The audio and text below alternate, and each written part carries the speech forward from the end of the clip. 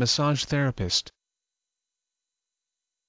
Massage therapist, a person who practices therapeutic massage. In many U.S. states, massage therapists can be licensed after completing a specified training program. Licensed therapists may practice independently or in medical settings. M A S S A G E T H E R A P I S T. Massage therapist